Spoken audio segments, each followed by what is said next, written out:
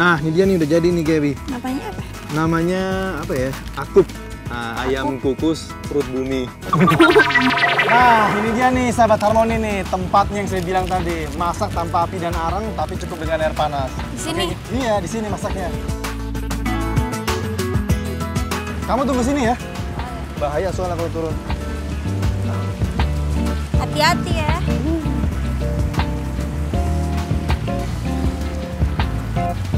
Nah, sahabat harmoni, cukup dengan air aja ya. Kita rendam setengahnya aja. Tapi yang sayuran 15 menit, jangan lama-lama, biar cepet matang. Tapi kalau yang ayam kasih waktu 25 menit. Nah, taruh aja kayak gini. Udah deh. Kita tinggalin habis itu.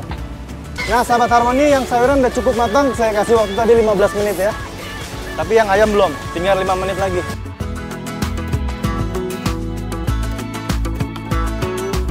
Nah, sahabat harmoni, nih sayurannya udah jadi nih, tinggal nunggu ayamnya aja.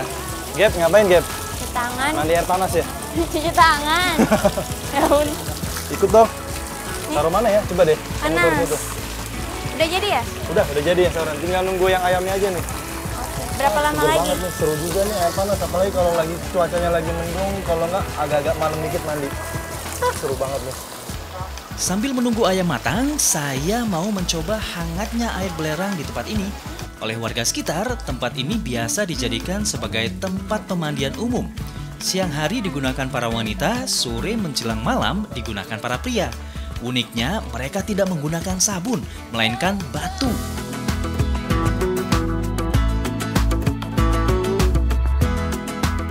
Hei, ayamnya. Ayam. Oh iya, ya, ayam mana ya? Di situ ya? Ayam mana? Bentar, bentar, bentar. Ini Dia nih ayamnya sekarang. Ayam bungkus asep. Huh. 15 menit, 25 menit lebih tadi saya kasih waktu.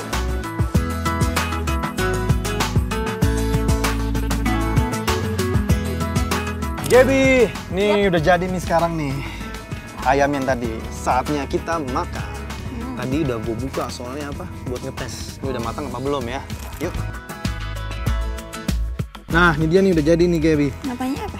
Namanya apa ya? Akup. Nah, ayam kukus perut bumi. Makanya aneh kan, soalnya masaknya tadi di dalam apa belerang, di dalam air panas gitu, keluar dari perut bumi. Eh, ngomong-ngomong, lu puasa nggak sih? Enggak. Nggak puasa? Ah, aman.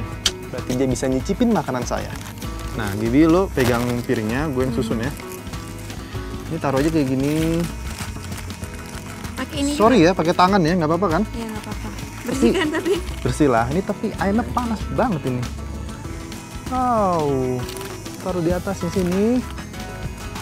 Tinggal kita saus. Sausnya dilumerin ya di atasnya ya. Uh. Au panas. Au panas. Panas ya. Udah dulu. Udah cukup.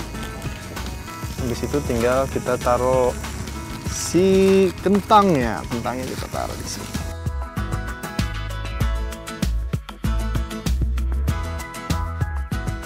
Jadi cobain dong. Soalnya saya nggak bisa nyobain. Sekarang. Dikit aja dicoel. apa-apa ya? Nggak apa-apa, coel aja. Kasih tahu rasanya. Kalau menurut saya sih ada kayak asem karena dari saus tomat, terus manisnya dari gula Jawa. Hmm. Ya kan? Mantap Enak. kan? Kalau orang Manado bilang itu enak sekali. Oh, enak sekali. Nah, kalau orang Jawa bilang, tahu nggak, Bang?